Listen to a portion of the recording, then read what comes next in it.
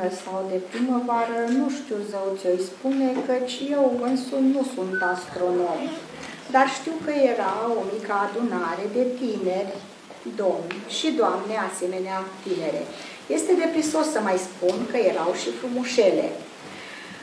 Adunarea era într-un salon, într-o casă din Iași, așezată pe o uliță al cărui nume nu ți-l spune, căci eu însă nu-l cunosc. Uh, dar astăzi știm că ne aflăm în salonul casei Cogălnicianu, în vechea Mahala Muntenimii, pe strada care de mult, de pe vremea când aici încă trăiau cogălnicienii, se numește Mihail Cogălnicianu și ne aflăm la numărul 11. Mă bucur mult și exercițiul meu de empatie a depășit așteptările mele, pentru că elita ieșeană aflată astăzi în salon uh, m-a făcut să intru și mai bine în atmosfera veacului 19 și am încercat așa, uh, luându-mi la aliat pe cine? Pe Mihail Pogălnicianu cu ale lui Iluzii Pierdute, să vă spun cam cum vedea el uh, o adunare dintr-un salon din ea și de altă dată. Cei care ne mai treceți pragul, v-ați obișnuit poate și cu micul acesta citat pe care îl tot folosesc, dar mi s-a părut astăzi foarte, foarte potrivit, deși altfel aș fi vrut să încep.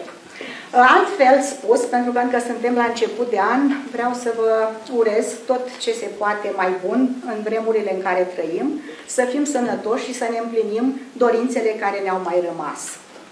Și Uh, vreau să vă spun că sunt onorată și mulțumesc doamnei Rodean pentru că din nou și-a făcut timp și cu energia debordantă uh, și-a luat inima în din să continuăm și anul acesta acest interesant proiect, Salonul de Amintiri, care unde putea să se întâmple alt undeva decât într-o casă boierească, aceea care și astăzi are încă salon. Și noi zicem că după acest proiect de restaurare și amenajare de acum 10 ani de zile în urmă, am reușit să redăm ieșenilor cel puțin, um, așa câte ceva din atmosfera unei case boierești de veac 19.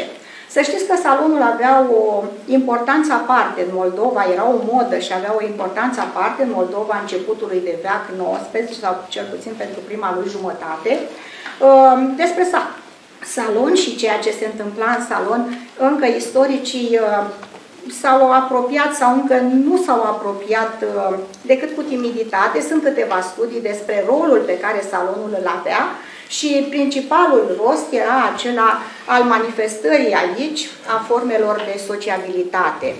Uh, existau și alte forme de comunicare și întâlnire, cum erau cabinetele de lectură, lojile francmasonice, uh, știu eu și alte, cafenelele, dar salonul rămâne foarte, foarte special în economia casei boierești, pentru că aici se făcea politică, se dănțuia, se jucau cărți, se puneau la cale în cuscriri, pentru că nu-i așa averea prima și după aceea celelalte.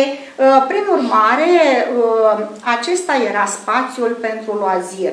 Formele lor de loazir erau mai puține decât astăzi, dar totuși acesta era spațiul. Și de reușita acestor întâlniri era responsabilă anfitrioana, adică doamna casei, care nu avea multe uh, posibilități de a ieși în evidență în spațiul public, pentru că știm care era statutul femeii în prima jumătate a celui de-al 19-lea veac, dar ea avea toate posibilitățile de manifestare aici în salon. Și cu cât reușea mai bine, prin asta și prestigiul social al soțului era menținut sau chiar ridicat, dar clar pus în valoare.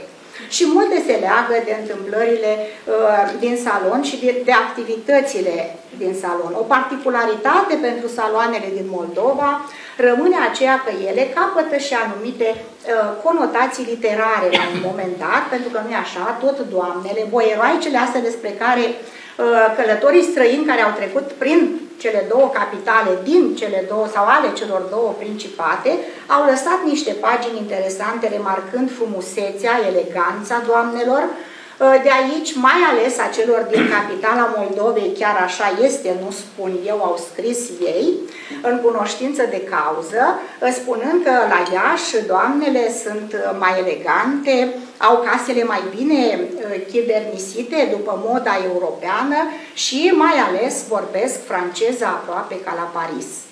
Așadar, tot aceste doamne invitau adesea aici pe cei cu preocupări literare, până la apariția Teatrului Național ca instituție, în saloane ca acestea aveau loc mici reprezentații teatrale. Uh, cum am spus, câte un artist care avea nevoie de un mecena găsea sprijin tot în astfel de încăperi. Prin urmare, nimic mai potrivit ca și dumneavoastră astăzi să fiți aici, într-un salon, uh, mă rog, de secol XIX sau de secol 21, dar care aduce mult în atenție importantul veac 19, căci este veacul construcției noastre naționale, și să avem alături un invitat deosebit, pe care eu îl respect în mod special, nu doar pentru profesia pe care o face cu multă dăruire, și chiar am spus că în continuare sunt uimită cum oameni de altă dată găseau timp să pună seriozitate, pasiune nu doar în profesie, ci și în ceea ce îi pasionează și îi preocupă.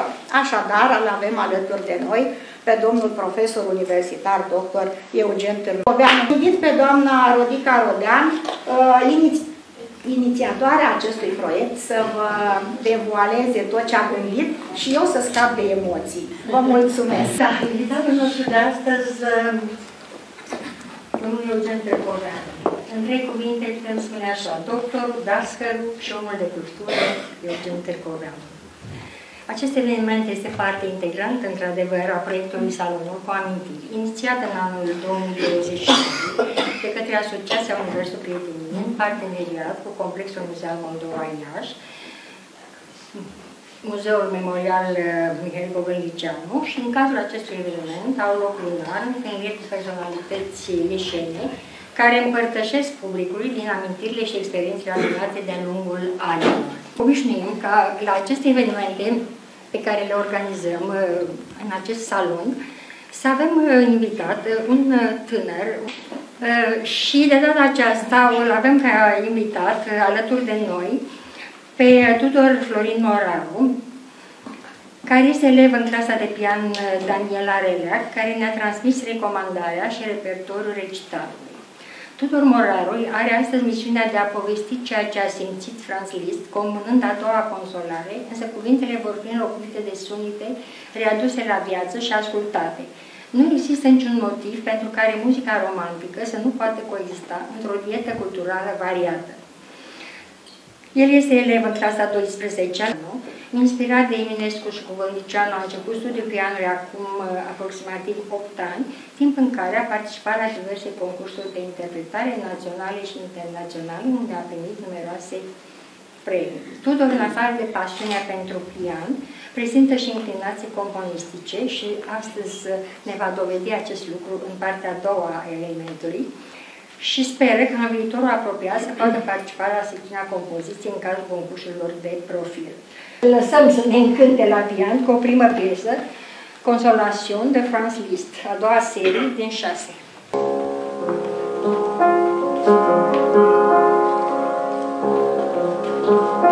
Música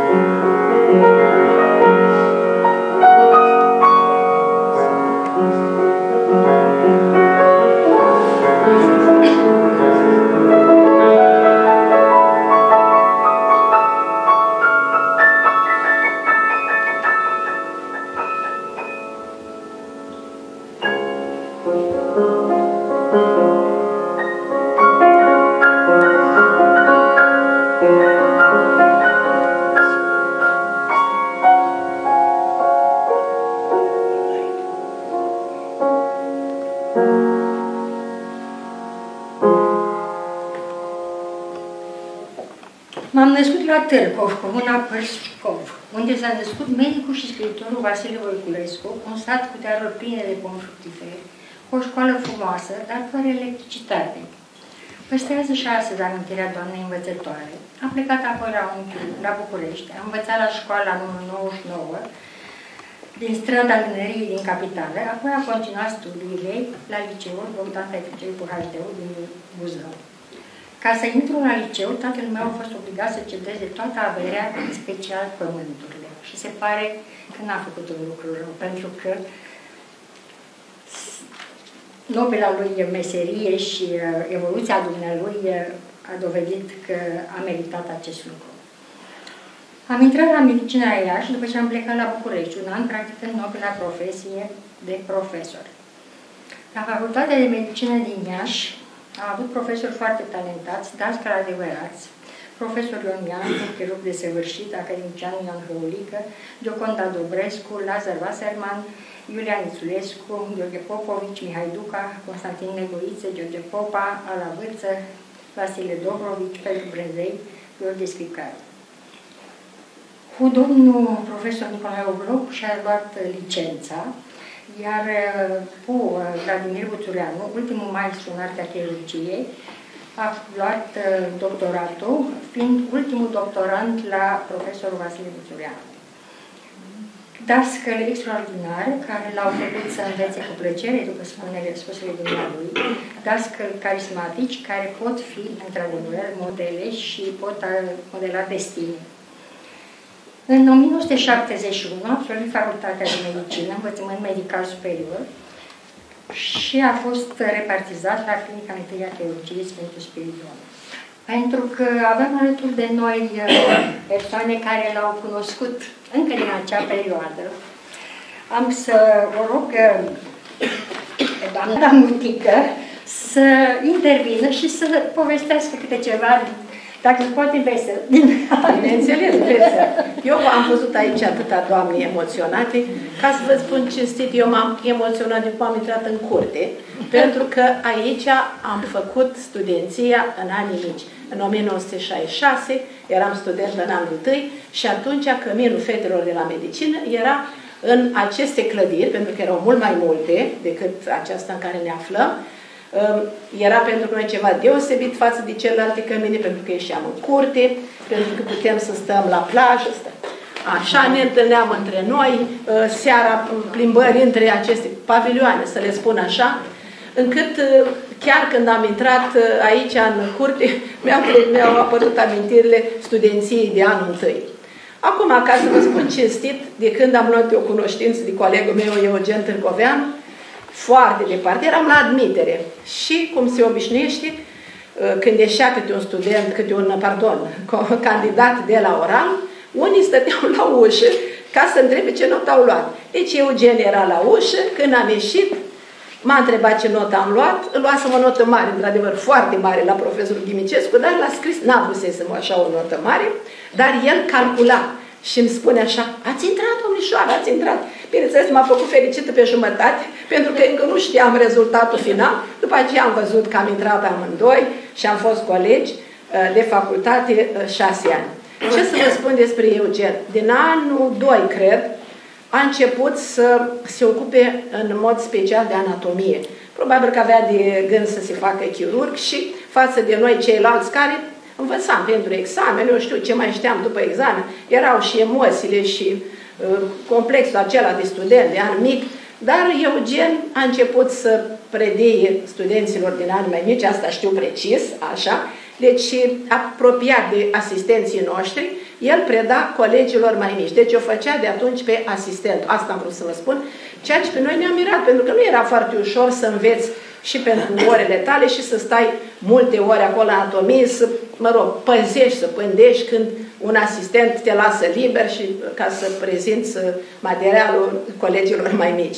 Deci așa a fost în facultate. După aceea, iarăși o altă amintire pe sfrânturi. Deci în anul 6 eram studenți, căsătoriți, locuiam în, ale, în Tudor Vladimirescu și soția lui Eugen Târcoveanu a născut bebelușul, pe care eu când am venit deși făcusem și obstetrică, mi s-a părut atât de mic și așa de tare mă speriam. Zic, cum o să-l crească ei, cum o să facă o mare din el?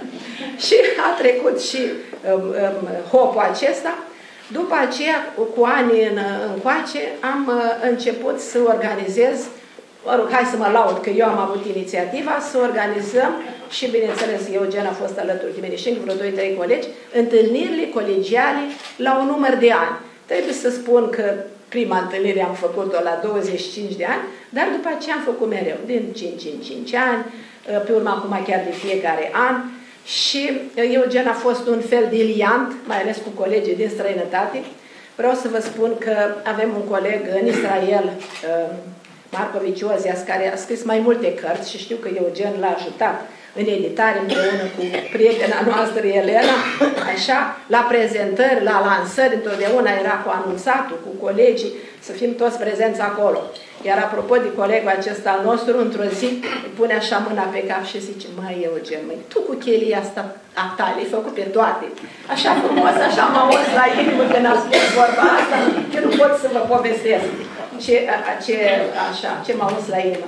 Iar după aceea, tot văzând eu peste tot că uh, Eugen Târcoveanu, la Societatea de Medici Naturaliști, are activitate nu știu, deosebit. Eu acolo am venit ceva mai târziu și când am aflat și când am văzut însemnările ieșeni, de la dânsul am aflat din semnările ieșeni, de fapt mi-a și dat multe numere de-a lungul mă rog, perioadei acestea mai din coace, încât așa am cunoscut și eu multă multe personalități, persoane, personalități medicale și nemedicale, care au preocupări culturale de, de scritori, de pictori. Și bineînțeles că asta mi-a dat așa o mulțumire și o întregire a activității mele spirituale, mai rog, mai având și eu și altele. Așa și uh, când, uh, când am citit acest anunț, bineînțeles că cu tot sufletul am vrut să vin aici să fiu alături de colegul meu. Deci am fost o serie care mă rog, are mai mulți reprezentanți, uh, așa ca și doctor Eugen Târgoveanu, sunt mândră că am avut așa colegi, mulți dintre ei au fost șefi de secție, au fost profesori, șefi de, de clinici, pardon, așa încât am o mare bucurie de fiecare dată când sunt invitată să mă întâlnesc și sărbătorim un coleg de-al nostru. Îți doresc sănătate, la mulți ani, succes la toată familia și toate cele bune. La început am făcut experimente pe porci după aia pe om. Am ales un porc mare, l-am cumpărat și îmi trebuia unul mai mic, de 40 de kg. A fost foarte greu de intubat. Am fost la, la veterinar. Acesta a murit, dar după aia doar împrumutam porcii ca să nu mai dăm bani pe el. Îl operam, făceam experimente pe el, trăiau și dădeam înapoi. Cum a fost domnul Cotrăcoveanu cu porcii?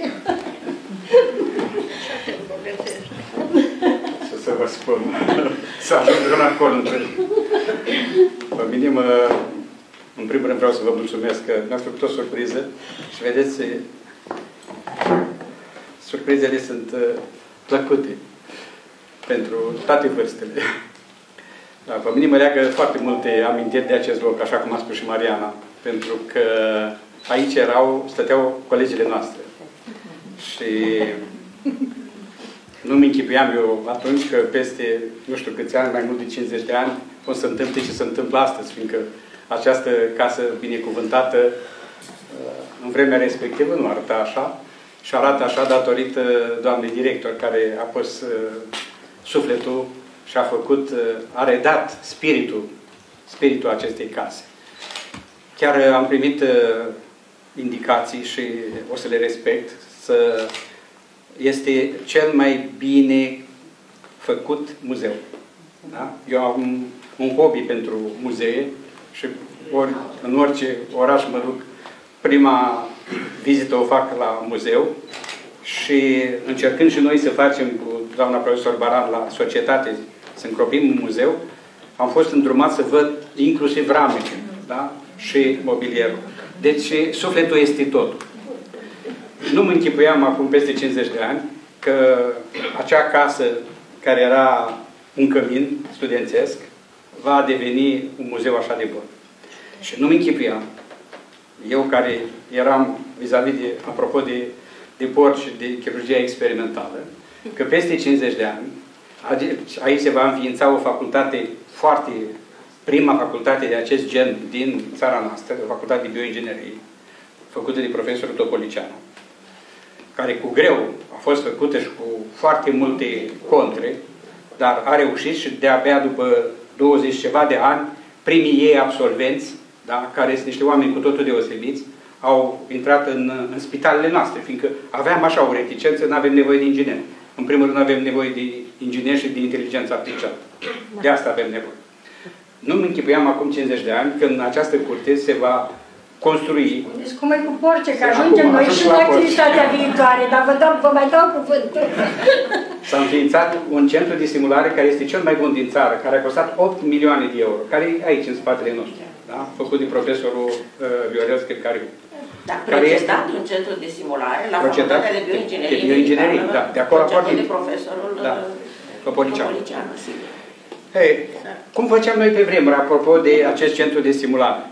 Primele intervenții pe care le făceam noi la anatomie, unde era profesorul Iancu, de care a amintit uh, Mariana, se făceau pe câini. Da? Și noi îi ajutam pe cei mai mari la toate, inclusiv la adusul câinului, la pregătirea câmpului operator, la sterilizatul, la hrana care se dădea după. Și era o concurență între noi pentru că ceilalți eram niște echipe care erau, erau de la ginecologie, de la chirurgie, eu eram de la anatomie, eram puțin privilegiat. Și uh, era foarte important, inclusiv mâncarea, pentru că le dădea, noi operam pe stomac și Ghiță, care era cel care îngrija laborantul, le dădea să mănânce. Și bineînțeles că perforau și câinii mureau. Era... De ce mă leagă amintire aici? Pentru că colegul nostru, da, doctorul Luchian, da? Care era fiul unui celebru obstetician și a unei doamne de la matematică, doamna Luchian, care era de o severitate extraordinară, avea o prietenă aici, care era la stomatologie. Și doamna nu prea era de acord cu prietena. Și eu trebuia să mă duc în fiecare seară să-l iau pe colegul meu, Bumbi, care, vedeți, Cogălnicianu, Sadoveanu, de pe Alea Sadoveanu, și să cer voi la doamna profesor și să-l aduc aici, să stau cu el cât stătea el ori întregi și după aceea să mă duc înapoi cu el. Făceam asta cu plăcere. Totul a fost până când, da?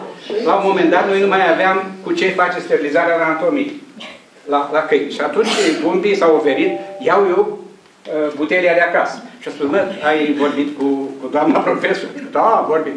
Am luat butelia, am dus-o la anatomie, bineînțeles că am, s-a terminat butelia, n-am mai adus-o înapoi, dar n-a s-a prins și de atunci am ieșit din inima doamnă. Apropo de salonul la porci, de la... Așa, ei, cu porci a fost mai târziu, a fost după Revoluție, când, uh, după Revoluție, da, că până atunci, apropo, noi cam chinuiam câinii și uh, când mi-am făcut o teză a trebuit Vreau, bineînțeles, că având uh, această experiență anterioară, să fac și eu niște experimente despre ulcerul perforat aveam eu pe câini. Profesorul Buțureanu, care era un profesor care iubea animalele, a auzit chestia și m-a chemat așa, ia vină tu încoa. Da, domn profesor, ce s-a întâmplat? Am auzit că tu chinui niște câini pe la anatomie. Domn profesor, eu știți... Sunt bolnavi. Da, așa. Mai, uite-te la mine. Dacă tu mai faci ceva unui câine, da? S-o terminat cu teza ta. Să fie foarte, foarte clar. Dar tu, în mintea ta, ce gândești? Da? Câinele va face vreodată ulcer? Câinele va face. Ce vrei? Eu luam sub gastric de la aia cu ulcer perforat, îl injectam în peretele câinele și mă așteptam că el să perforeze. Și nu, într-adevăr nu era. Acesta era profesorul Buțurean. Ei, bineînțeles că când a apărut chirurgia laparoscopică, când am început și noi să învățăm chirurgie laparoscopică, experimentele se făceau pe porc. Porcul era apropiat ca anatomie de om. Știți? Omnivor. Da. Ei, și ca, la început, ca noi să vedem cum, așa am zis, să fie un porc mai mare, un porc mai mic, nu vezi despre ce e vorba. Și am cumpărat un porc mare, mare, într-adevăr, avea aproape 100 de kg. Dar porcul ăla fiind, avea o trachee foarte mică și deși am adus un, un anestezist experimentar pe doctorul Stratan, nu reușit să-l intubeze, fiindcă nu i-a ajuns canul la cer. Și a murit porcul. Și a trebuit să... Dar măcar l-ați mâncat după aia? A trebuit să să plătesc porcul. Așa după aceea ne-am învățat și și luam porci mai mici, da? care le scoteam numai colecistul. Și bineînțeles, asta fiind o operație mai simplă, intră eu. Și așa am rezolvat problema cu porcul. Uh, domnul profesor se consideră un om norocos. În cei peste 50 de ani are 15.000 de intervenții chirurgicale, a publicat 12 cărți și peste 200 de articole științifice, a îndrumat 35 de serii de studenți în medicină, am învățat toată viața, învățând pe alții, declară domnia sa, frumos. Am imaginat primele teste de examinare cu întrebări multiple, am folosit IQ în docimologie, am ținut peste 50 de cursuri post-universitare, am organizat 10 de conferințe, congrese naționale, regionale, internaționale, am îndrumat 32 de doctoranți, am publicat materiale didactice, am avut funcții de conducere în rețeaua sanitară și învățământul superior. Pentru că mai avem aici alături de noi persoane care cunosc de foarte mult timp pe domnul profesor, am să o rog pe doamna Elena Leonte să ia cuvântul. Pare rău că am trecut de problema cu câinii, că, că aveam o amintire de adevăr. Uh, mă mir că n-ați primit o propunere de la studenții din, uh, din Copou, că sunt S-a spus uh, colegului, că soțul meu, nu, da. Romeo Chiriac, uh, așa, i s-a spus, domn profesor, veniți aici în copou, vă strângem 50 de câini, îi băgăm în portbagaj și aveți... Așa că era o ofertă, dar n-ați fost voi atenți. Da, uh, o plăcere deosebită, lume deosebită, deci, uh, emoțiile, dacă tot au început, hai să curgă. Um, tot de, tot de studenție ne leagă primele amintiri, numai că ați observat deja din prima luare de cuvânt a Eugen Tâcoveanu că nu vorbește despre sine, decât în curriculum vite, ăsta care nici nu știu de unde l-a adică, da? Uh, acolo vorbește despre sine că este obligat să vorbească despre sine. Când vorbește în public, vorbește numai despre alții, despre ce au făcut alții, despre, despre orice, despre orice, despre cultură, despre istorie ieșană, despre istoria medicinii mai ales, vorbește cu o reverență extraordinară, cum nu, nu cred că am mai întâlnit până acum, despre foștii profesori despre foștii îndrumători, despre... Știți, ne aflăm într-o vreme în care sunt demolate uh, vechile statui. Noi le făceam statui profesorilor. Noi uh, îi îndrăgeam, îi, îi salutam pe stradă după ce terminați facultatea de câțiva ani îi salutam pe stradă dacă aveau, mă rog, îngăduința să, să ne întrebe ce mai faci, drăguță, pe unde ești, nu ești repartizat pe nu știu pe unde, pe asta. Da, și ne făcea o plăcere extraordinară, vai, dar un profesor și-a amintit de noi. Uh, erau alte vremuri, îmi dau seama, dar uh, epoca asta a demolării, a ceea ce s-a făcut uh, Uh, începe de acum să, să nu știu, am, am o senzație, ar trebui să se termine. Ar trebui ca uh, oricine, cu orice nivel ar avea, să se gândească uh, la acest aspect. Demolăm, demolăm, uităm ce a fost, ne, ne cotropește noul, suntem fascinați și noi, cei din vârsta asta, curios poate părea celor tineri. Și noi suntem fascinați de progresele, dar uh, nu, nu în măsura în care să uităm de unde am plecat. Să uităm cât de nepregătiți eram când am intrat prin școli, când am venit prin orașe universitare, apropo de fascinația pe care un buzăian, eu sunt râmniceancă sărată, Uh, deci aproape de acolo, uh, un buzăian a venit cu spre Iași ca o, spre, spre o cetate și așa a rămas și acum. 50 de ani? Încă? Sunt. Uh, așa a rămas și acum un entuziasmat de Iași, de istoria Iașului, de... Nu, nu i-a trecut nicio clipă. Nu, nu s-a vindecat de Iași. Nu cred că l-am auzit vreodată, nu bârfindu-și colegii cum se întâmplă. Nu, asta nu, nu cred că l-a auzit cineva, așa.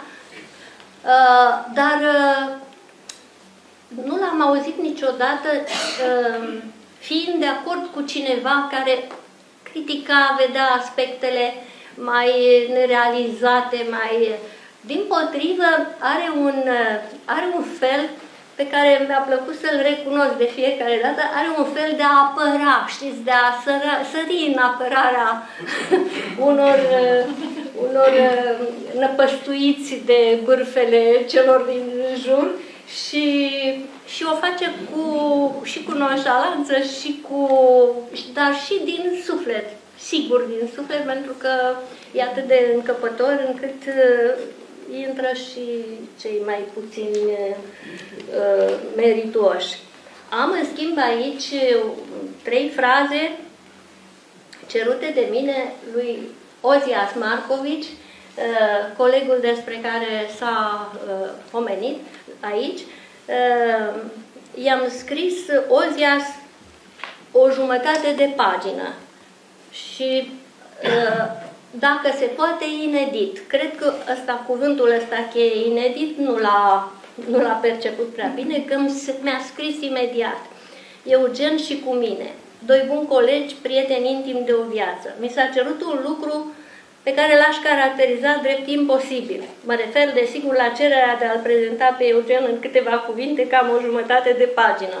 Lucru deloc simplu. Ne-am cunoscut prima dată în anul 2000 1965, e un pasionat de istorie, în Amfiteatrul de Anatomie, cu ca proaspet studenți, boboci, în așteptarea primului curs festiv, ținut de către profesorul Ioan Iancu, șeful catedrei. Este extrem de greu să vorbești separat de omul sau de medicul Eugen Târcoveanu, modestia care l-a caracterizat și pe care a observat-o, cred că toată lumea, din totdeauna împreună cu munca grea depusă ca student, intern și rezident la clinica 1 chirurgie, i-au adus recompensa bine meritate de a conduce în calitatea sa de profesor clinica de chirurgie, care devenise fără exagerare o a doua sa casă. Și aici sunt multe, multe de, de completat, pentru că, uh, într-adevăr, foarte multe ore din timpul pe care l-a avut aici pe pământ, Eugen Târcoveanu a avut o casă, clinica de chirurgie sau mai, mai uh, corect sala de operație. Uh, și apogeul carierei sale profesionale, profesorul Târcoveanu devenise unanim recunoscut ca chirurgul numărul 1 al Moldovei și unul dintre marii chirurgi României. Nu am uitat restricția impusă referitor la mărimea paginii de scris, dar asemenea multor alți colegi vă mărturisesc sincer că sunt și suntem mândri de reușita și în altul grad de profesionalism atins de către colegul și prietenul meu, al nostru, Eugen. Uh, mi-am făcut uh, datoria de... Despre ce mai vroiam să spun și chiar n-aș vrea să uit, este că a știut să tempereze lucrurile, asta din, uh, cred că am, am spus despre uh, pasiunea asta de a-i vedea pe oameni liniștiți în jur și de a, a făcut, a comis lucrul ăsta incredibil, nu, toate, nu toată lumea reușește, uh, ba din potrivă, sunt oameni care ațâță spiritele și uh, nu știu să le tempereze, Cred că așa se explică și succesul de acasă, pentru că mai există un acasă în care este o splendidă doamnă, uh, doamnă doctor, Maria Buzuleac, uh, care uh, nu numai că i-a lăsat întregul timp pe care l-a dorit, ci s-a ocupat cu o dârzenie Uh, pe care numai anumite doamne pot să o aibă și să facă lucrurile în așa fel încât să, să fie bine pentru toată lumea. În familie are ce îi trebuie, iar unui chirurg uh, cred că asta îi trebuie liniștea de acasă și uh, înțelepciunea de acasă. Pentru că realmente eu o admir pe Maria pentru, pentru calmul ei, pentru condiția ei de, de femeie uh, care știe cum merg lucrurile și face totul cu o liniște și cu, și cu uh, un devotament, uh, parcă cuvintele mari par mici și invers. Uh, face totul să pară liniștit, uh, cu minte, fără zdroabă, fără agitație, ceea ce cred că sunteți de acord, doamnelor, e mare lucru. Să, să spunem că uh, are o disponibilitate, și cu asta termin, o disponibilitate uh, de a ajuta oamenii uh, în orice loc, în orice clipă, oriunde și oricând l-ai chema. Ceea ce nu se întâmplă cu toată lumea. Niște cazuri absolut spectaculoase, le vom povesti poate altă dată, în care a fost adus de acasă, a fost telefonat de prieteni, mă simt rău, am, cred că am infarct, s-a suit în mașină, s-a dus, s-a luat, s-a dus la unde, la spital, este vorba de prietena noastră care îi, îi datorează realmente viața. Era un preinfarct și a avut această rapiditate ca argument de, de trai. Asta face ca prieten, dar face și pentru ceilalți pe care îi cunoaște.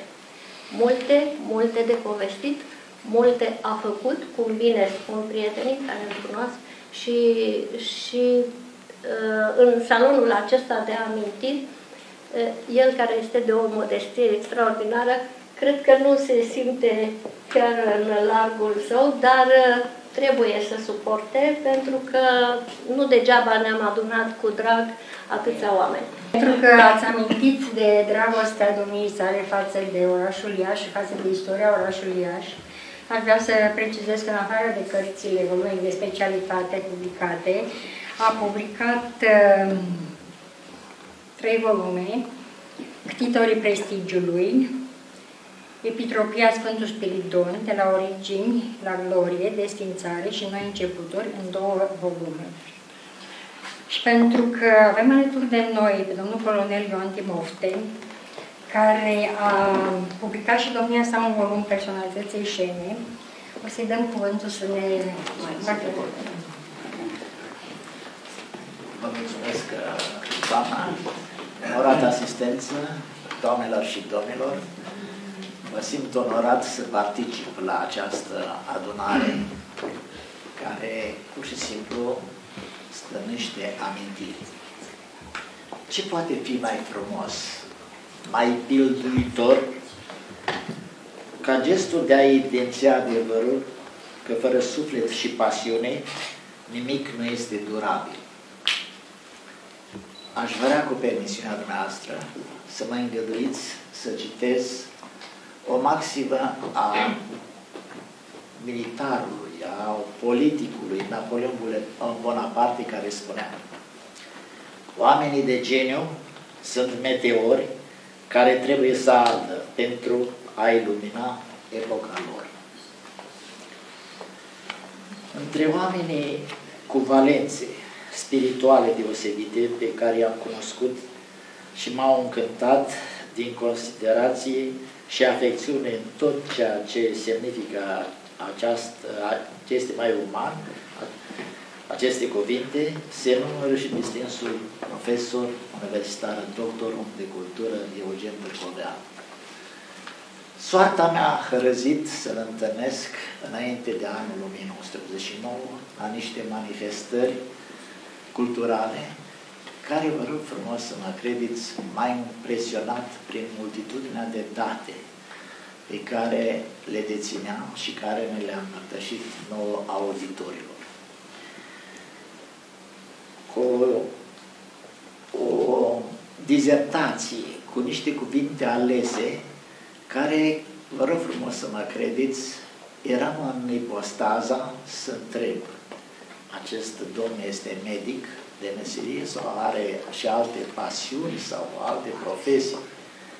Credeți-mă că este mare lucru să ai parte de asemenea personalitate care pentru mine a reprezentat un ajutor neprecupețit în redactarea celor șase volume de personalități ieșire trecute în orizonturile neființei. Pentru mine a fost un ajutor neprecupețit și pentru care îi port o recunoștință deosebită. Vreau să vă spun că uh, pentru mine este, pe lângă faptul că o figură carismatică a mediului cultural, al învățământului superior medical uh, ieșean, are și un suflet deosebit de bun. O atitudine care pur și simplu te emoționează, un spirit academic deosebit. Legat de ceea ce spunea distința doamna Elena Leonte. Cine nu păstrează în grădina istoriei sămânța florilor trecutului, nu are ce semăna nici în grădina viitorului.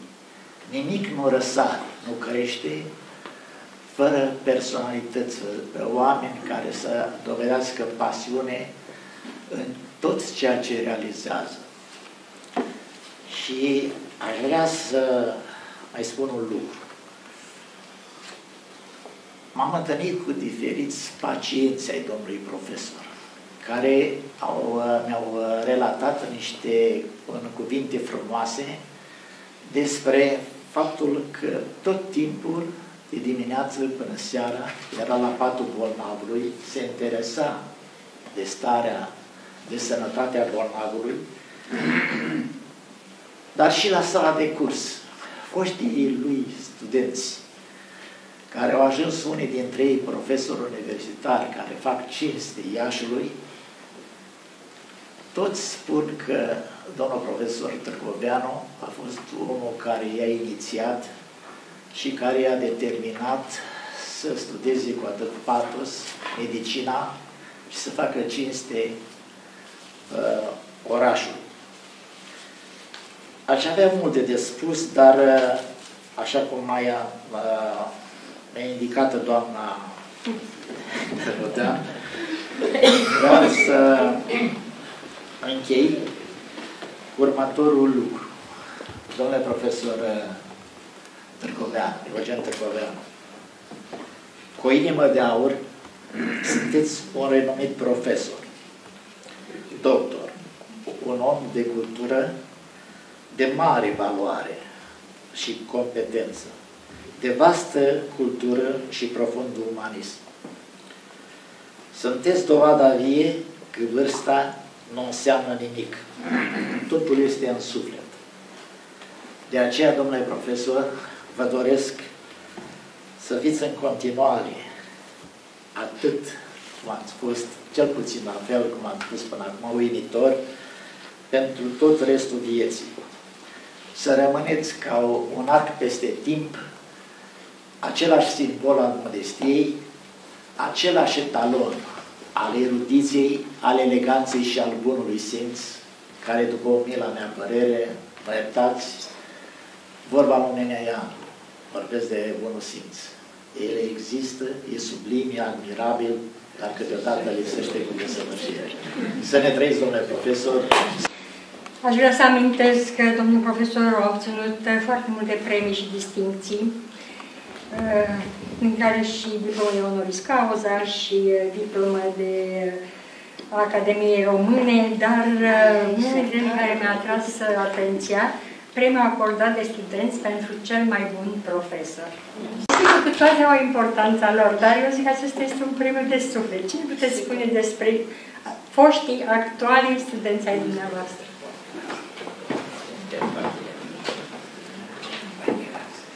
Studenții sunt uh, speciali.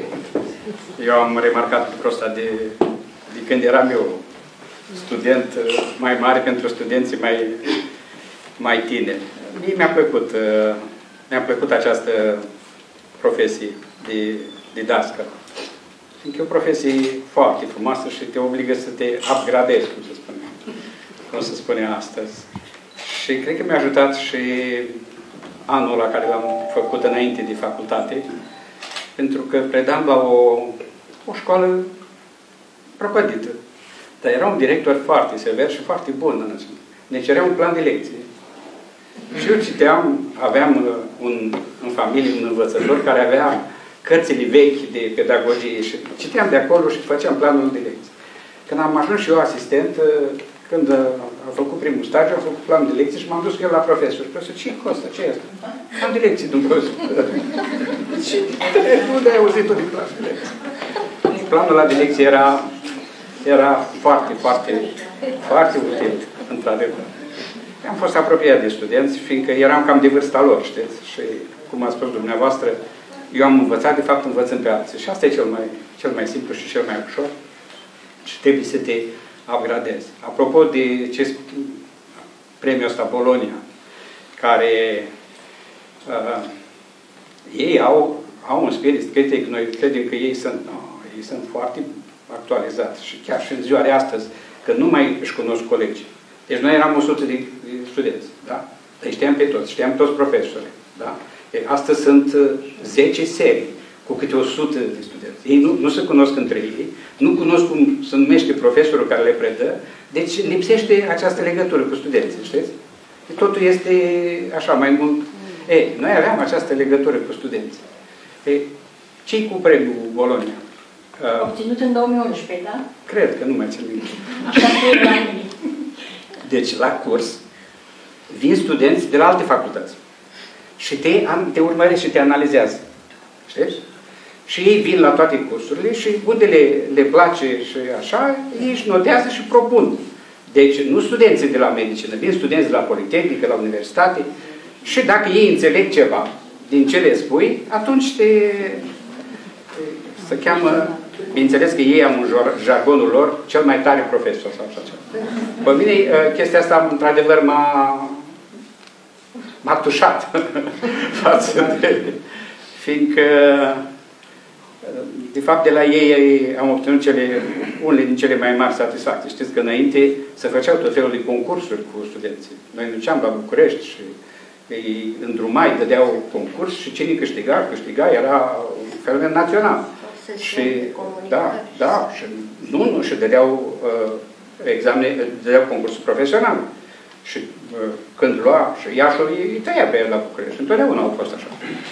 și dar uh, ei, bineînțeles că au ajuns doctori mari și când am ieșit și eu în străinătate, după ani, ani, ani și mai târziu, când mă duceam la câte un spital mare, un spital care avea 1200 de paturi și uh, mă duceam și oficial și ca să învăț, știți?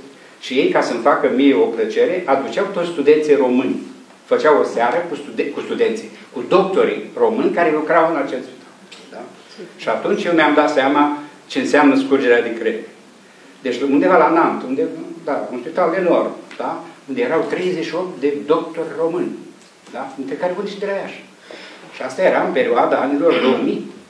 Da? Deci într-un singur spital. Da? Ei, vreau să vă spun că toți studenții care erau doctori, că m-am interesat și eu ce fac, unde sunt, ce... N-am auzit de cineva să-i vorbească de rău, că nu sunt muncitori, că nu sunt deștepți, că nu și-ar îndeplinesc datorii. Ei, asta a fost cea mai mare bucurie pe care eu am avut-o și în, în foarte multe spitale, nu numai la, în Franța, dar în Belgia erau enorm de mulți, și în Anglia, și în Germania. Da? Și asta a fost bucuria mea să-i văd pe ei realizați. Da? Eu am studenți care m-au depășit pe mine de mult. Da? Deci am, or, succesorul meu la clinică este profesorul Lupașu, care face transplant hepatic. Eu nu mi-am închipuit că se poate face. Nu numai în țară, la Iași, la Iași eram sigur că îmi spune. Fiindcă am văzut afară ce înseamnă. Deci, uh, contactul cu studenții și cu tinerii îți, te ajută foarte mult și îți dă, îți dă energie, energie pozitivă. Chirurgul Eugen Târcoveanu este în 1971 șeful clinicii antiachirurgie de la Spitalul Sfântul Spiridon din Iași. Este primul medic român care a folosit termonecroza ca metodă de tratare a cancerului și al doilea din țară care a operat la parascopic. De fapt, s-a adus la Iași la parascopia. S-a îndrăgostit de medicină timpuriu, iar pasiunea i-a fost însuflată de profesori. Mai facem așa o mică pauză muzicală. O să rugăm pe Tudor să ne interpreteze o altă piesă, Londin, de Cecil Chaminade, lucrare compusă tot în secolul XIX, specifică muzicii de salon, prin eleganță și stil, ce vă invită să depășiți granițele imaginației.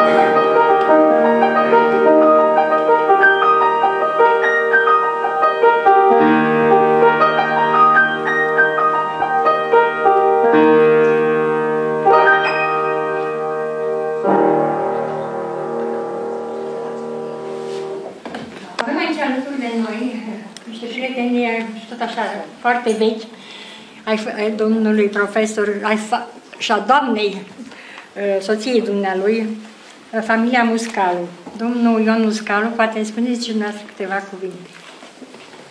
Da, cu foarte mare plăcere. Îl cunosc pe domnul profesor de foarte multă vreme. Aș vrea să mă refer aici la câteva activități culturale care le-am săvârșit împreună și în mod deosebit la uh, editarea acelei monografii. Este vorba de Epitropia Sfântul Spiridon, la care domnul profesor și colectivul de redactare au lucrat foarte mult, au răsculit toate arhivele și toate însemnările de unde s-au putut. Uh, am scos această împreună la editura Danaster și mi ofer disponibilitatea de a contribui la reeditarea acestei lucrări uh, pe cheltuiala noastră. Deci dumneavoastră numai cu bună voința de a o reedita din nou și eventual de a completa, de a actualiza acele informații. Uh, avem multe planuri și multe împliniri împreună și sper să le ducem la bun sfârșit. Foarte interesant a fost colaborarea împreună cu domnul profesor și cu colegul domniei sale uh, de la Tel Aviv, cu domnul Ozi, Marcovici. Am publicat împreună trei volume foarte interesante. Păcat că au fost distribuite într-un număr foarte mic de exemplare în dar sunt foarte apreciate în străinătate, în America, în, pe acolo pe unde a activat dumnealui. Uh, vă mulțumesc pentru sprijinul acordat și sperăm în continuare să obținem rezultate pe măsura efortului dumneavoastră și a celor care vă sprijină. Pentru că avem uh, onoarea și uh, de a avea alături de noi pe domnul Grigori Isei, scriitor, jurnalist uh, și multe, multe altele. Îl rog și pe domnia sa poate ne spune câteva cuvinte. Tăscoveanul ilustrează o specie pe care dispariție în lumea În sensul că perpetuează o mare tradiție a medicinei românești, în care exista o împletire armonică, pe de o parte, între îndeletnicirea aceasta atât de nobilă, aceea închinată sănătății omului, și preocupările mult mai largi către umanioare, către arte, către muzică, către literatură. De altfel, exemplul uh, ilustrativ este chiar uh, patronul Universității, profesorul Grete Popa, care în perioada interbelică, atunci când uh, revista Viața Românească a dispărut, când a existat o hemoragie extraordinară de intelectuali, mai ales în domeniul literei care au plecat la București,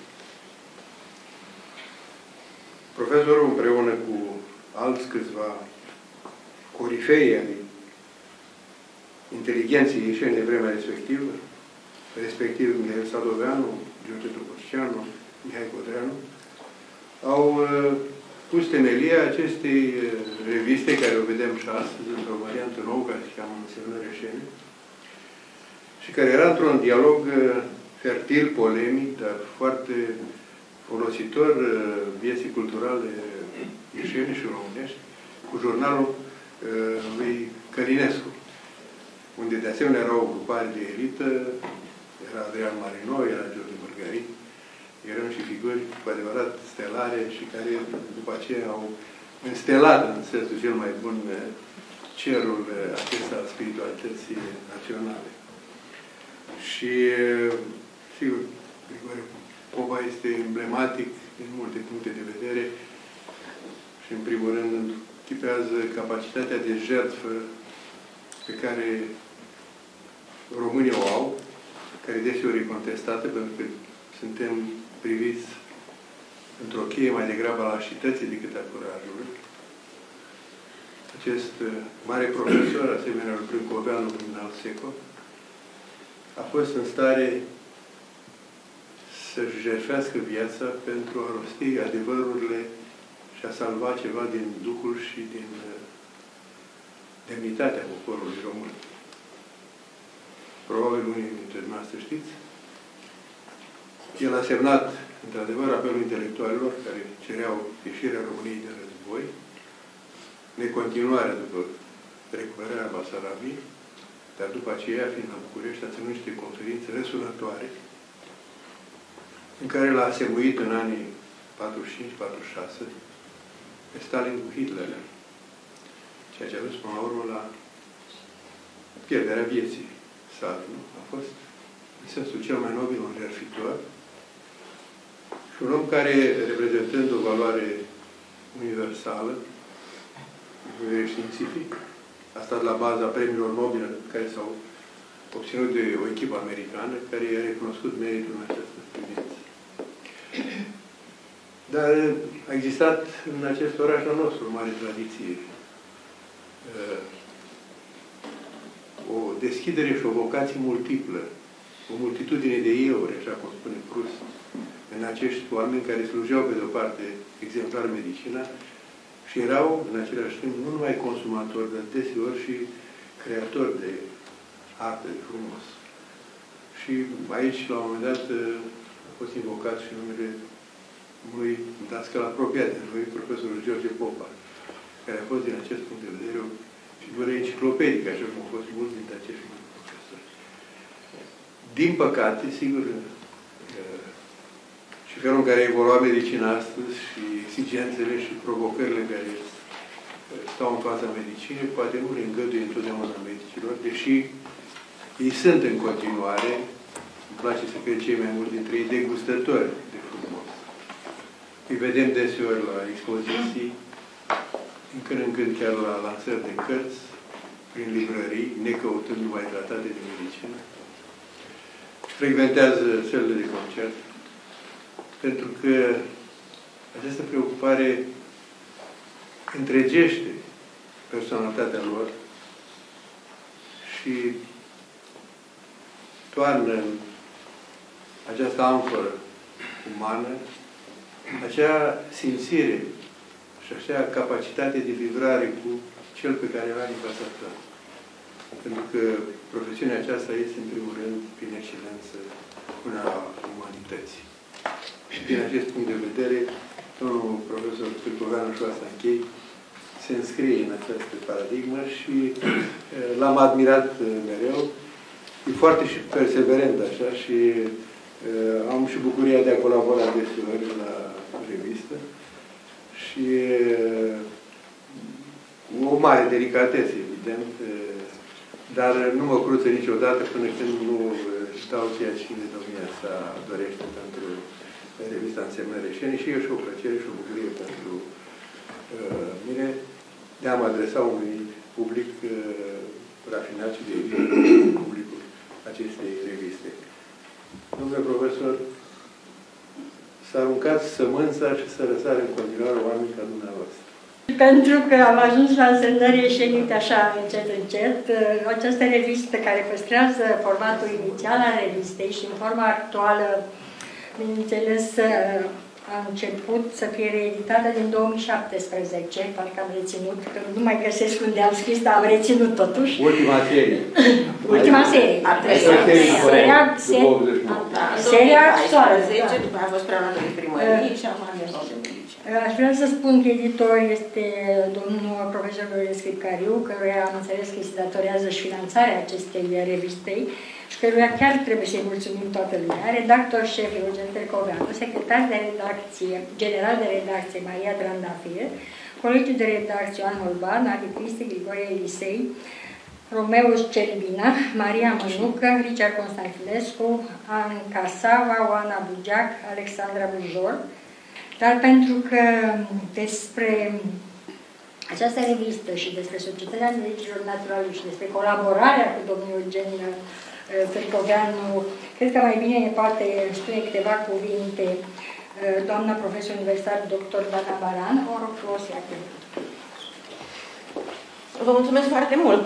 Fără îndoială că Mă leagă de domnul profesor Eugen Târpăganu multe amintiri, începând din studenție, uh, activitatea în cadrul Universității de Medicină și Farmacie din Iași, și nu doar în cadrul Societății de Medici Naturaliști, dar fără îndoială este unul din aspecte și uh, recunosc că sunt uh, uh, recunoscătoare la rândul meu, sunt plină de gratitudine pentru faptul că uh, are această artă de a se apropia de cei din jur, de a-i motiva, de a-i stimula și de a-i face să se implice uh, așa cum domnia sa este implicat. Nu este doar un om de cultură, nu este doar un excelent profesionist, este un uh, om al cetății, este o personalitate implicată în viața de fiecare zi acestei comunități pe care Iașul uh, o ilustrează astăzi. Uh, chiar numele domniei sale, Eugen, cred că uh, exprimă cumva această noblețe a nașterii, este o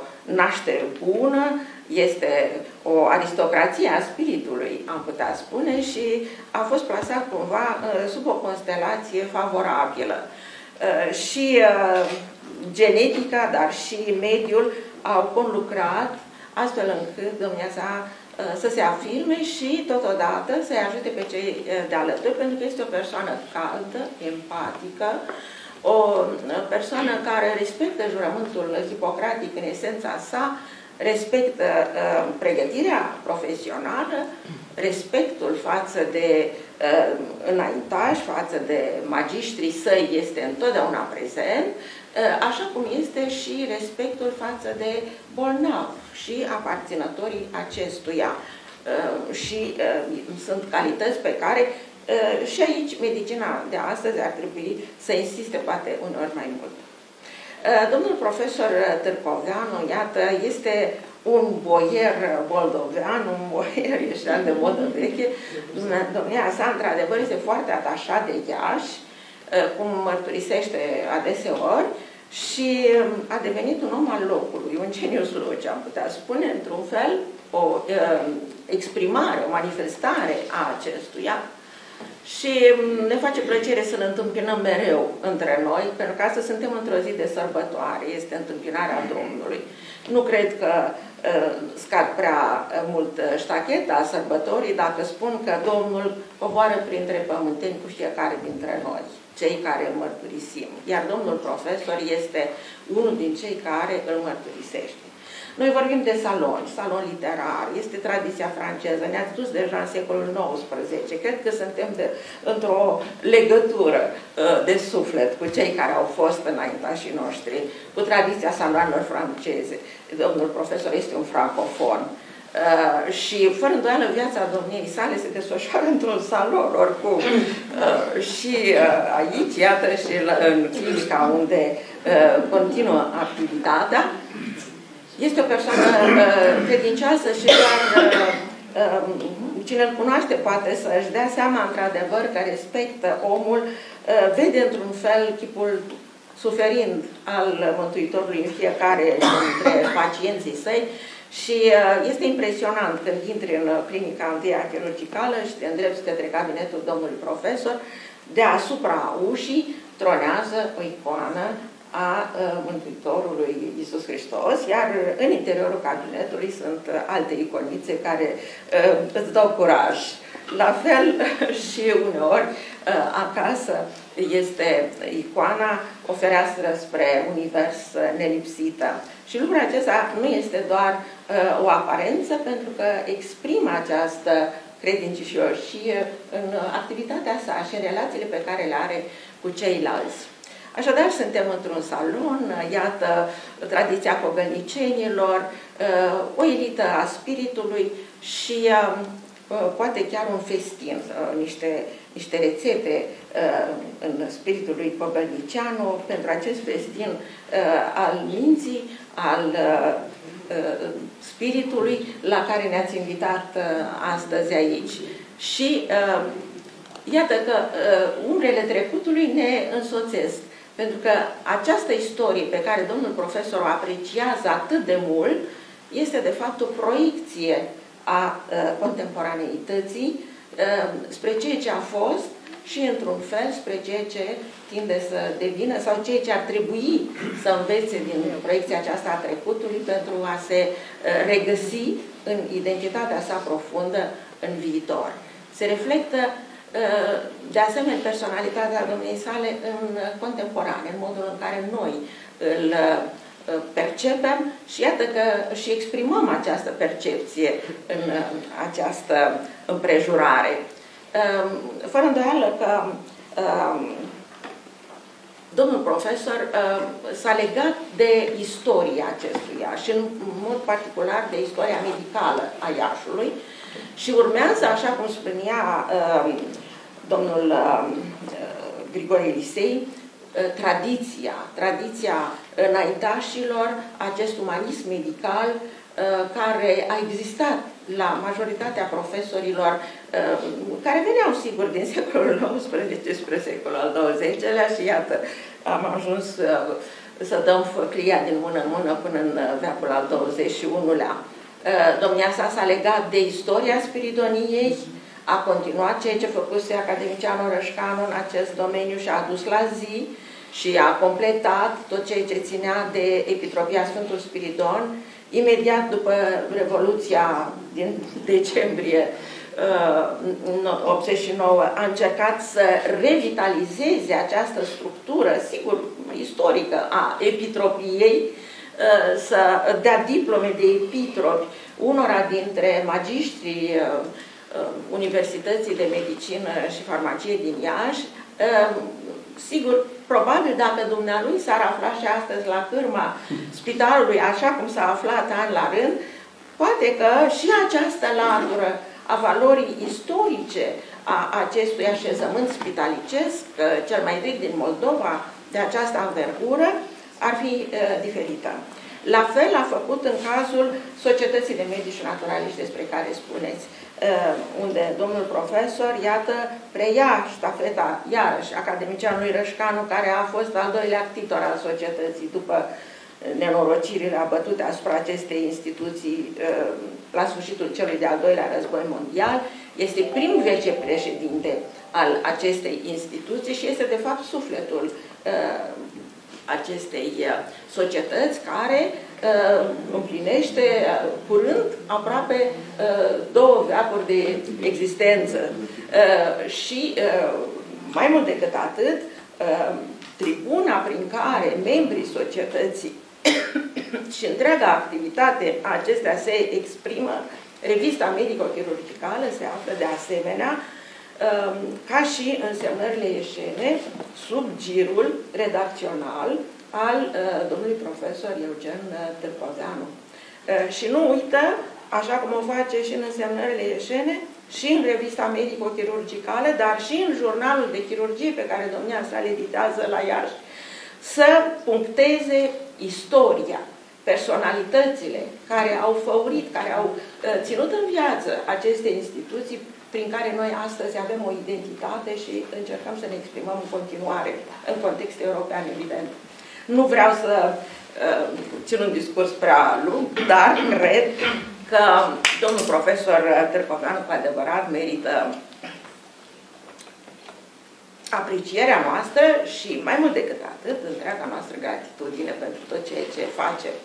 Pentru fiecare din noi, poate, și pentru orașul Iași, care se mm, vede cumva uh, marginalizat și poate văduvit de voci care să conteze. La mulți ani, domnule profesor. Și de asemenea, uite, vreau să mai fac un adaug la ceea ce am spus mai devreme. Eu nu știam că domnul profesor este de la, din părțile Buzăului, sigur, e o zonă minunată, mai ales zona montană. Dar cred că faptul că izvoarele lui sunt acolo a fost foarte important pentru că a avut ca spirit tutelar și din acest punct de vedere s-a alcătuit personalitatea lui spirituală pe Voiculescu, Vasile Voiculescu. La care s-a raportat și sigur că e greu de atins... Dar noi avem la medicină și un cenacul E greu de a știu, cunosc exact, profesorul Hurju și tot. Da, da. da. E greu de atins, sigur, piscurile lui Vasile Voiculescu, dar însă și aspirația aceasta e nobil în sine și deseori dumneavoastră îi dați strălucire. Adică a, asta am vrut să fac această mică, mică adăugire, că e, e foarte important să există un spirit tutelar care să te însuflețească și căruia să-i plătești, cum spune la vama, știți? Îți dau însuflețirii mele vamă. Adică asta e. Lumea academică. O emisiune pe care ilustrul profesor Eugen Târcoveanu o are la postul uh, național de televiziune, Telemoldova Plus. Pentru că avem alături de noi cel care timp de, uite, 31 de ani se luptă cu această televiziune privată pentru uh, a reuși să, să, să intre pe piață. Îl rugăm pe domnul Petru Frăsile să spui și domnia sa câteva cuvinte. E foarte greu de vorbit după atâția vorbitori importanți și oameni care au subliniat cu măestrie, cu mult aplom și cu prietenie ceea ce este pentru ea și pentru noi toți, domnul Eugen Târcoveanu. E adevărat, noi am apărut cu televiziunea în 91, și nu puteam să ne întâlnim cu domnul Eugen Târcoveanu, pentru că domnia sa uh, de atunci uh, deja cel care inițiase proiecte uh, cu belgienii, la paloscopia despre care s-a vorbit atât, este profesia pe care și-a însușit-o și a pregătit și pe ceilalți din România.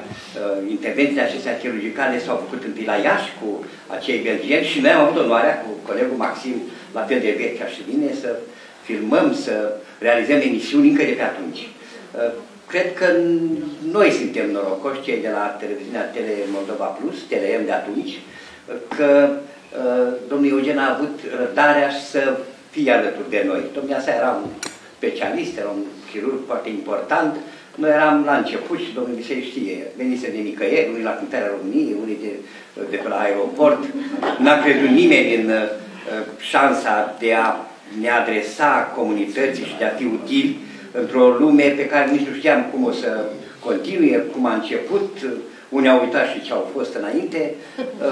Cert este că și aici mulțumesc omului Eugen Târcoveanu, am crescut odată cu domnia sa și cu mulți alți prieteni și văd aici în sală și pe domnul profesor și pe doamna profesor și mă uit așa în toate pe Emilian Marcu, toți, într-un fel sau altul, fac parte din, din acest proiect de televiziune privată de interes public, care, prin platforma pe care uh, a creat-o de-a lungul timpului, a reușit să fie utilă alături de oameni valoroși, așa cum este domnul uh, profesor Eugen Târcoveanu. Eu trebuie să mulțumesc în numele echipei uh, Telemoldova Plus. Astăzi s-a decis la Consiliul Național Audiovizualului intrarea noastră în Vila Maschierii, Asta înseamnă că toate televiziunile prin cablu din România vor prelua programul nostru gratuit. Acum apanajul televiziunii publice a fost important, dar iată că după 33 de ani de libertate uh, se oferă o șansă să se vadă și alți producători de, de programe. Problema e că e o obligație imensă, așa că, domnule profesor, aveți mult de treabă, poate mai gândim pe emisiune. Uh, la fel mă uit pe aici, în stânga Emilian, că el tot a tras chiulul și trebuie să-l activăm. Uh, domnul profesor, ne știm de pe vremea regalității de la de la metalurgica, când ținea discursuri și deja uh, reflexe istorice, e o emisiune pe care noi ne-am obișnuit. Despre doamna Uh, vecina noastră, că noi funcționăm acum la uh, Facultatea de Chimie, vecina noastră, doamna uh, profesor Arsenescu Georgescu, nu putem să spunem decât că e o vecină bună, că vine și de la inimă la inimă și-a extins paleta și spre lumea civilă și spre lumea medicală.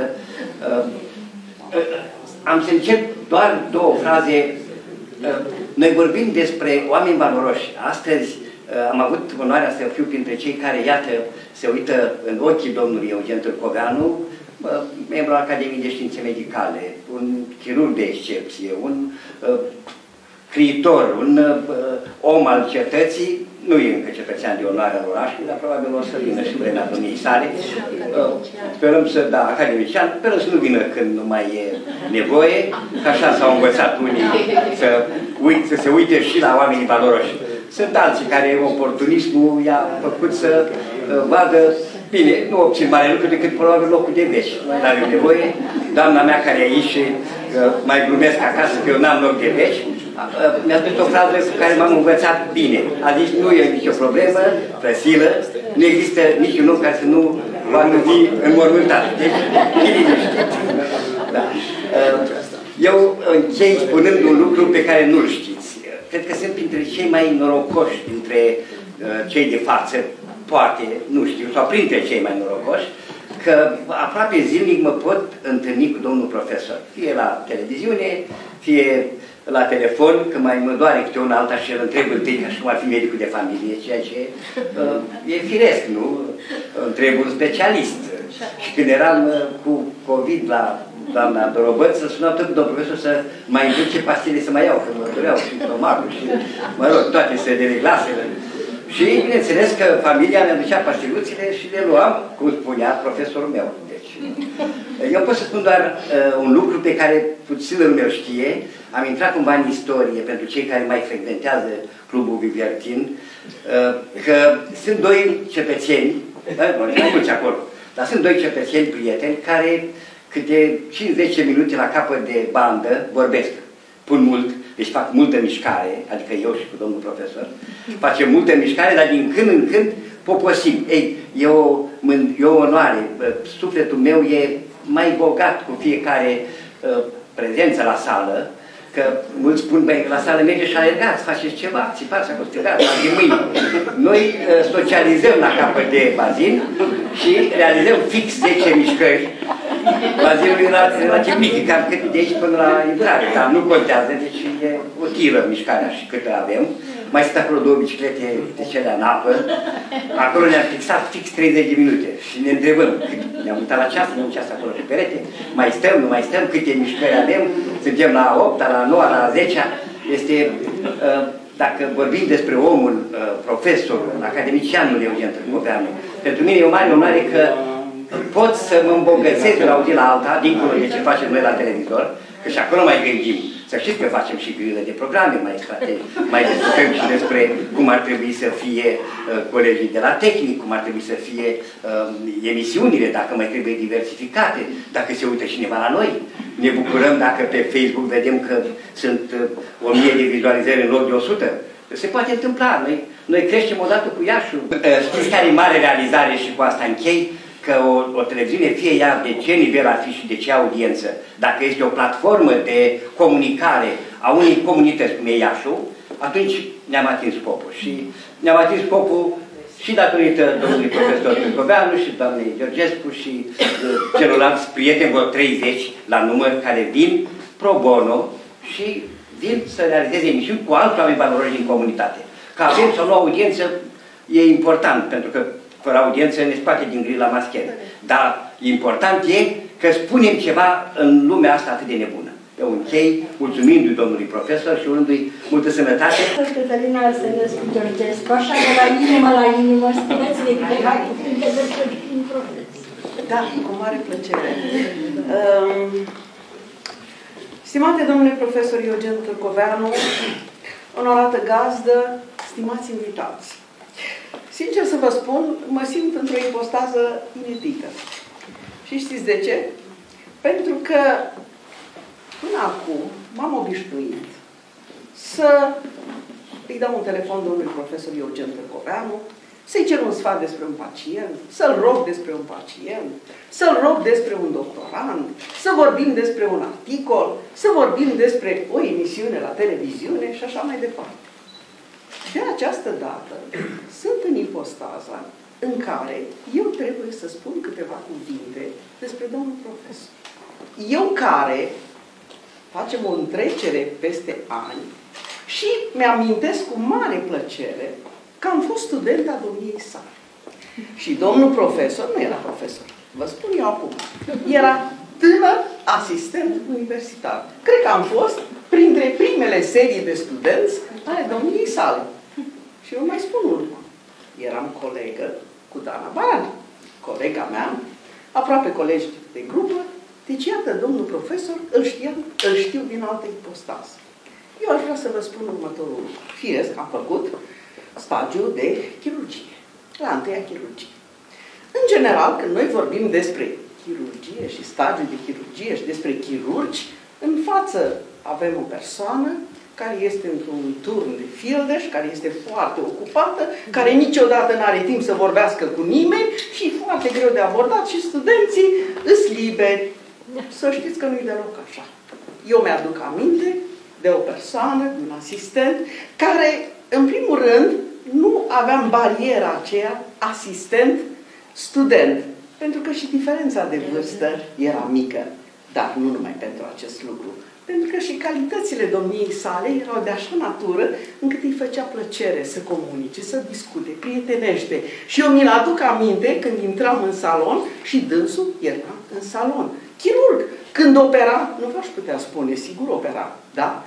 Dar își respecta această menire de cadru didactic. Deci eu așa îl văd pe domnul profesor. Un lucru care, ce să vă spun, mă onorează și m-a marcat și mi-am zic, uite, se poate dacă vrem să facem învățământ, chiar dacă avem știm, o specialitate mai aparte, care e mai solicitantă din anumite puncte de vedere. Dar dacă vrem, se poate și poate că prin atitudinea domniei sale a influențat multe generații și mulți oameni care au îmbrățișat această specialitate de chirurgie sau orice fel de specialitate. Și fiindcă tot vorbim de specialitate, și de povești, da, că suntem aici la povești frumoase. Eu nu știu dacă domnul profesor își amintește, s-a amintit aici, noi păstrăm discreția numelui pacienților noștri, dar s-a pomenit de un nume. Domnul profesor, atunci când s-a dus să ia acea persoană de acasă, a dat un telefon. Unde a dat telefon, poate și amintește, mi-a dat mie telefon. Să vă spun, domnule profesor, să vă amintesc unde eram eu atunci? Eram în Statele Unite. Firesc că erau și pe alt fusonar. Asta nu mai contează. Știi că are o durere, știi că are nu știu ce.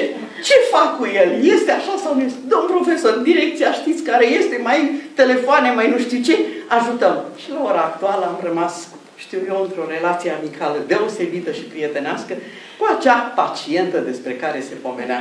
Deci, vedeți, lumea aceasta medicală a noastră, cât este de ciudată. Pentru că, aș spune ciudată, sau este o paletă foarte largă, pentru că noi ne mai și certăm, ne mai și împrietenim, dar niște oameni care rimează sunt împreună. Și iată când spun împreună, firesc că fac referire la ceea ce spunea domnul director pentru Frăsilă, că noi suntem o familie la această televiziune, se datorează în exclusivitate domniei sale, un alt om cald și un om care știe să coaguleze lumea și care facem atât de multe lucruri frumoase și lucruri bune pentru comunitate. Și iată că de unde acum v-am povestit de studenția mea și câte povești n-aș spune, că îmi face mare plăcere, dar aș spune că la ora actuală am multe interferențe cu domnul profesor uh, pe linie academică, pe linie de societate de medici și naturaliști, pe linie de televiziune, pe linie de pacienți și așa mai departe. Deci vedeți ce înseamnă să fii un dascăl care lași o dâră, lași o urmă în care să-ți facă plăcere să comunici cu niște oameni. Încât uh, nu pot să spun, dacă ar fi să-l caracterizez pe domnul profesor, l-aș caracteriza pre un cadru didactic dăruit, un cadru didactic care nu știe să spună nu, nu știe să spună nu. Un om în general care nu știe să spună nu. Dacă îl întrebi ceva, nu se poate să nu încerce să-și găsească o soluție sau să te ajute într-un fel. Este o mare plăcere să dispară această barieră de student-asistent, student-dascăl și să te simți uh, într-o atmosferă academică, într-o atmosferă culturală a Iașului, cu un auditoriu atât de deosebit și acest auditoriu are un număr, un nume comun. Toți îl respectăm, îl prețuim pe domnul profesor, astăzi mai mult ca oricând.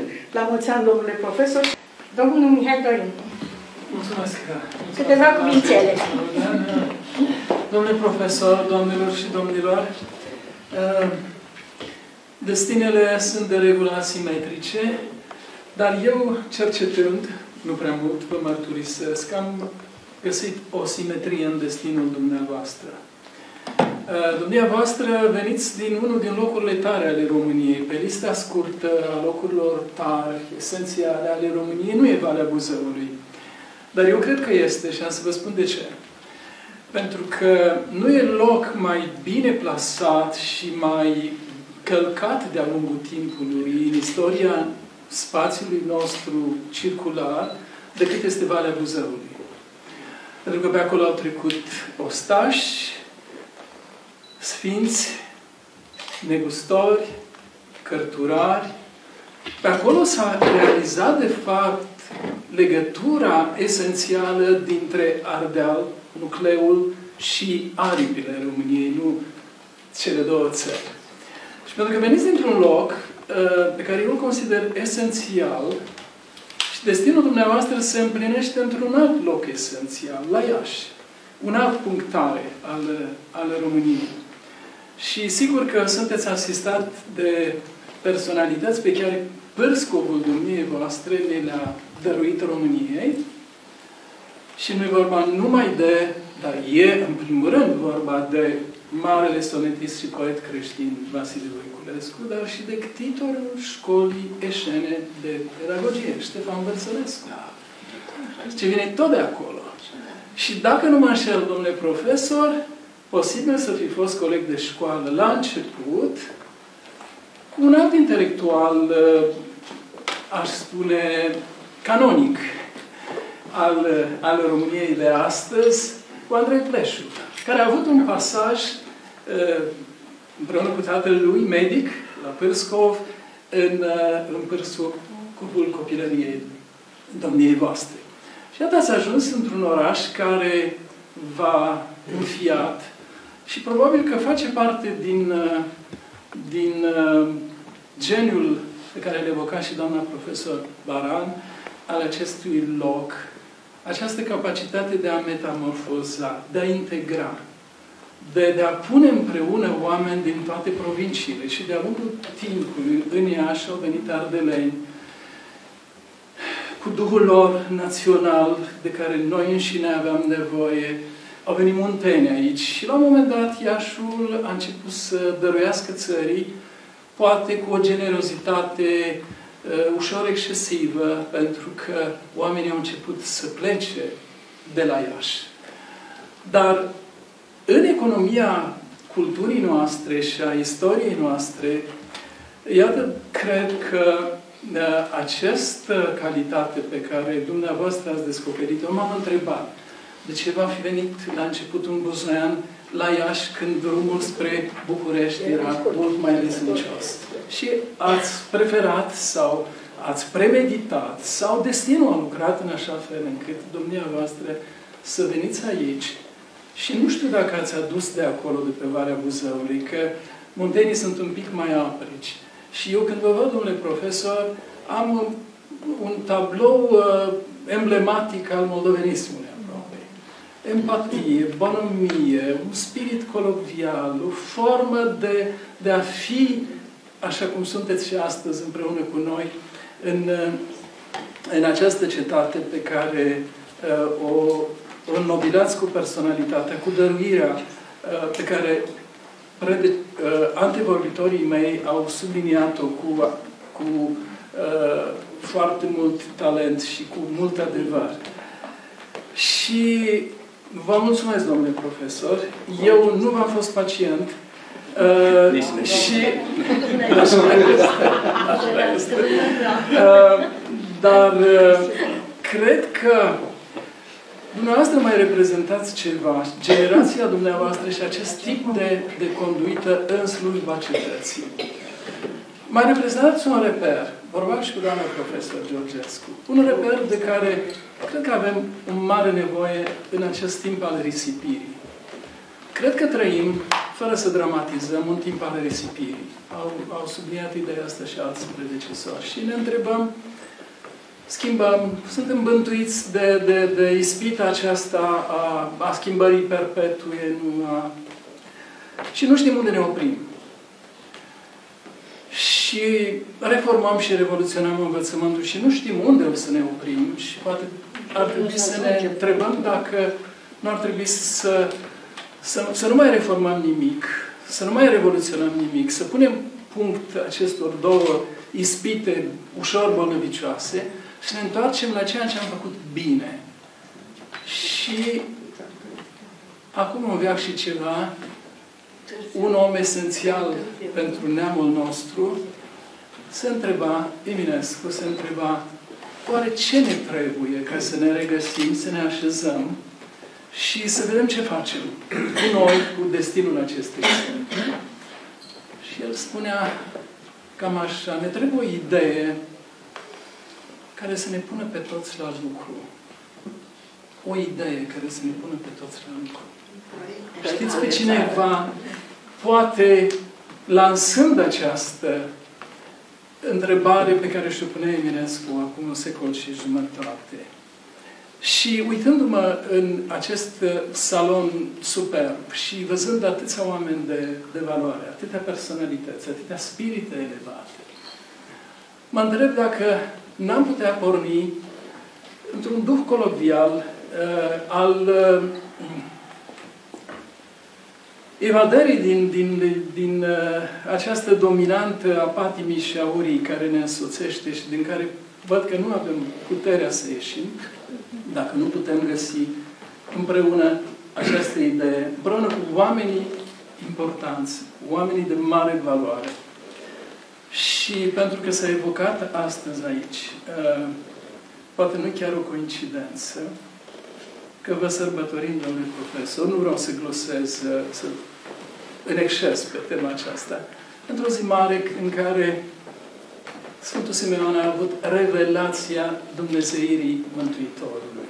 Iată, e o zi superbă de, de sărbătoare creștină, una din cele mai frumoase zile ale creștinismului.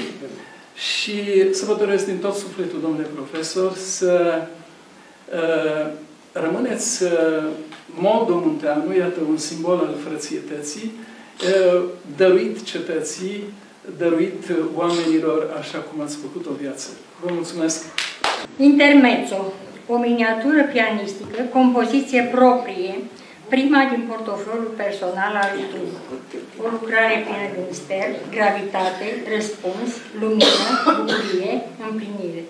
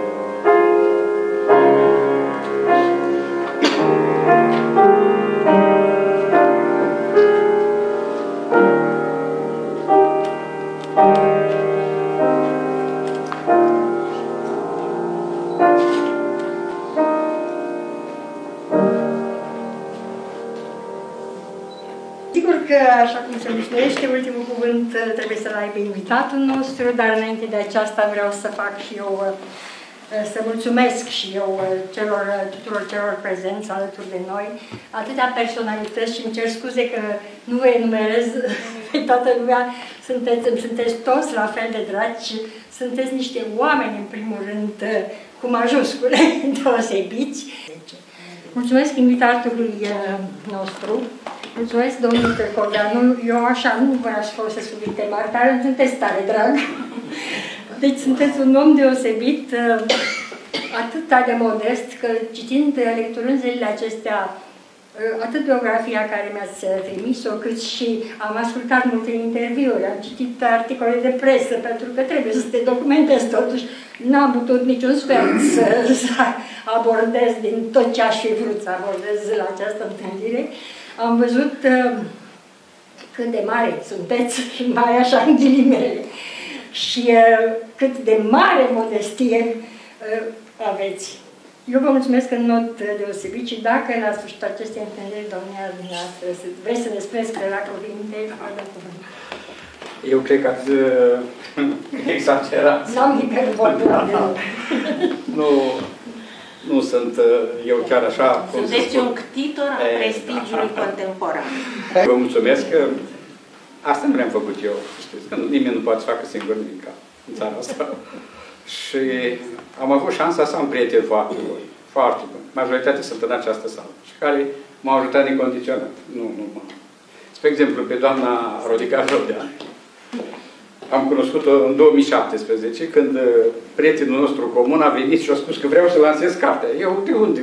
Am lansat tot felul de dacă cărți de literatură, nu prea lansat. Și am zis, ce mă fac eu? Cine vine?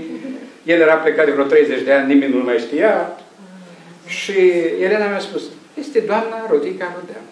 Am apelat la doamna și a ieșit o, o manifestare extraordinară pe care el și-o amintește, deci fără să o cunosc. Deci asta e spiritul Iași. Asta e spiritul Iași. Și eu m-am realizat în Iași datorită acestui spirit. Eu n-am fost... Uh, nu. Eu la București nu făceam ce am făcut aici. În mod simplu. Vedeți că Linescu avea dreptate. Nu. Există un spirit nu. Este, e altceva, e altceva. Oameni care te, te ajută necondiționat. Spre exemplu și această revistă. Eu n-aș putea să o scot fără scriitorii din Iași, care Uitați, sunt aici, care prodomul, nu, nimeni nu scrie în ziua de azi, fără, e o muncă intelectuală care trebuie apreciată, nu? Da? Îmi scriu cu o bunăvoință care pe mine mă... Deși, acum să fim și noi... Asta e un lucru rău care se întâmplă în ziua de azi. dumneavoastră, cu exigența dumneavoastră. Spre exemplu, noi nu. Eu sunt convins în ziua de azi și îmi cer scuze chiar. Da? Lumea medicală nu mai este așa cum era pe vreme. Și asta nu pot să o pun pe baza numărului mai mare de bolnăviri, numărul mai mare de doctori. Da? Pentru că, vedeți dumneavoastră, nu mai sunt lucrurile idilice cum au fost odată. Da? Eu încerc, dar niciodată, nici eu n-am reușit să, să fac foarte multe lucruri. Și câteodată sunt uh, chiar, uh, mă simt vinovat de... Da? Eu am avut și m-a ajutat Dumnezeu în primul rând. Eu am lucrat la anatomie împreună cu soțul lui Elena, care era un munte de om frumos, ca un brad, sănătos tun, da? și care lucra cu formol. Și eu lucram cu formol și aveam, uh, pe mână aveam uh, o iritație cronică, nici nu puteam să merg mâine, nici nu puteam să operez din cauza asta. Și profesorul meu, nu de asta, nu îmi dădea el voie să vă duc la anatomie. Și a zis, de mâine nu te mai duc la anatomie. Și am stat numai vreo 15 ani acolo, sau 12 ani. Da? Romii costat până la sfârșitul vieții. Și l-a costat chestia asta. Profesorul meu, profesorul Chifan, tot așa, a făcut o boală de sânge care a fost tot din cauza anatomiei. Deci Dumnezeu în momente cheie m-a ajutat. Da? Și am simțit, am simțit această chestie, că în loc să iau pe un drum, am luat-o pe celălalt. Am avut uh, șansa să am niște colegi extraordinari, foarte buni. Deci un coleg de-al meu, Lucian. Deci noi când am terminat și am rămas, eram șase care am rămas în învățământ. Eu n-am, am fost șef de promoție. Eu eram, aveam media, nu știu care, mai... Da. Dar dădusem un examen față de el. Și aveam un rector deschis la minte, profesorul Scriptar, care în perioada aia noi credeam că era un om religios, un om profund, care avea știa multe lucruri. Era un filozof extraordinar. Eu l-am simțit, l-am citit. Da? Nu m-am, am vrut să fac medicin legal din cauza lui. Și mulți ani din colegii noștri. Când ne-a repartizat pe noi, lucrul ăsta nu se mai întâmplase niciodată. Da? Fiecare alegea în ordinea medii. Da? Și Lucian trebuia să aleagă primul. Și s-a ridicat în picioare și a spus, domnul tovarășul rector, între noi este un coleg care a dat un examen în plus. El trebuie să aleagă primul. Și tot s-a uitat la el așa. Și chiar așa? Da. Ia să vezi. Da, așa. Să aleagă atunci Târcovea. Eu am ales, am luat chirurgie. El vrea să facă chirurgie. Nu la chirurgie, o luat Andreea Medicală. Cine mai face asta? Dacă sunt doi colegi care dau la un examen, se reclamă până la Sfântul Duh. Cine face așa ceva? Eu vreau să mai văd un lucru. Deci, ăștia sunt oameni din Iași. Da? După un an de zile, când el vrea să plece de acolo la întâia medicală, eu m-am dus la rector și am spus, domnul rector, eu mă retrag de la întâia chirurgie, că locul nu era de fapt al meu, era colegul meu care pleacă. Și s-a uitat la mine așa. Și a spus, cum? Faci tu asta? Da, cum? Da, nu vreau, mă duc. Bine, atunci am să-i găsesc un loc și o venit și el la clinica întâia chirurgie. Și au făcut după aceea chirurgie, el vrea să facă ginecologie.